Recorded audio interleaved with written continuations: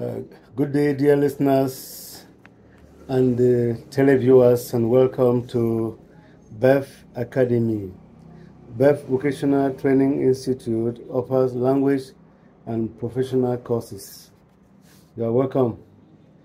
In today's video, we would like to share with you an overview of the IELTS exam those of you who are interested in traveling abroad, either for studies or for work, uh, IELTS, the International English Language Testing System, IELTS, is uh, uh, an examination that will enable you to be chosen in the university, the target university, or to acquire a job in the target country.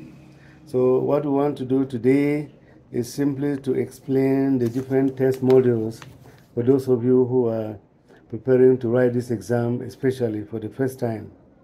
The International English Language Testing System, IELTS, has basically four modules. That's listening, speaking, reading, and writing. So what you need to know is how long does each module last and uh, how is it tested? What kind of questions are you expected to see under examination condition? Uh, maybe we'll begin with IELTS reading. The IELTS reading paper lasts for 60 minutes and it is divided into three sections. Uh, and each section lasts for about 20 minutes. Uh, in which case, we can advise that, well, if you are preparing to do the IELTS reading, know that you have a maximum of 20 minutes per section. And if you have a maximum of 20 minutes per each section, then you should try to maximize that time and even use 17 minutes instead of 20 so that at the end of the exam, you have time to read over your work. Now, what kind of questions uh, uh, are you expected to see? You have multiple choice questions, there's MCQs, traditional MCQs, uh, you have gap filling, you have uh, table completion, and so on and so forth. But know that you are supposed to write, if you have to, to write a word or to write an expression, it should not be more than three words. Then uh, we can also look at IELTS writing. IELTS writing lasts equally for 60 minutes and is divided into two parts.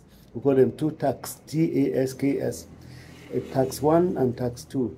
Task 1 lasts for 20 minutes and task 2 lasts for 40 minutes. So uh, if you are doing IELTS academic, then your questions will be based on either describing an object, describing a graph, or a table. But if you are doing IELTS general training, then uh, your task one will be based on letter writing. It could be formal, informal, as a, or semi-informal, as the case may be.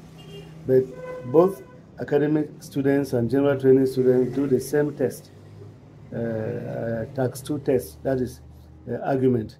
You're expected to write some form of argument, meaning that you need to, you know, uh, base yourself with the different techniques of the argumentative essay. Then uh, another section is I speaking. The speaking test lasts for 40 minutes maximum. That's the speaking test the speaking test is between 14 minutes, between 11 minutes and uh, 14 minutes. And this test is divided into three parts. You have part one, uh, which has to do with a familiar topic, meaning that the examiner is going to ask you question based on a familiar topic.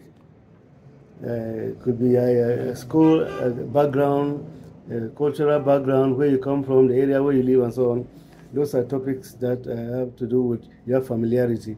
But the part two section of the speaking test is simply an annotated topic. I think could, even if there is a strange topic, it's not going to be difficult because you have an annotated or guided topic. For example, you may be asked to write about wild animals, uh, and a wild animal that you know, you like or you don't like, they will ask you to describe it, they will ask you to talk about its, its habitat and so on. Or you may be asked to talk about a traditional wedding that you attended or heard about. Then they can annotate. They may simply just write party, they write um, uh, dressing, they can also write maybe uh, food. There you'll be able to talk about what you heard or what uh, you witnessed. And then the last section of part of the speaking test is uh, always an extension of part two because the examiner asks you subjective questions. For example, he may ask you questions that have to do with your opinion on part two.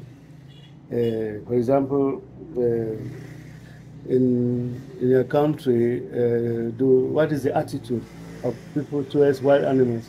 What government policies are there to protect some of these species and so on? And lastly,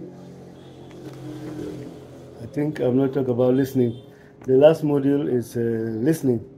The listening module lasts for 30 minutes, and uh, you listen and write as the tape unfolds. But you have an extra additional 10 minutes to transfer your answers from the answer booklet to an answer sheet. So it is important to be very attentive because you will not listen to the tape a second time. Okay, that was just a, a brief introduction to IELTS. And if you are interested in more details, you can contact us at BEF Academy, situated at Karipu Super 8, JMC Yaoundé, either for physical class or online class.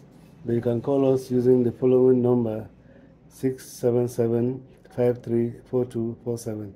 That is 677 534247. It's interesting that through that same number you can get us on WhatsApp. And why not visit our website at www.befacademy.com. Thank you and bye bye.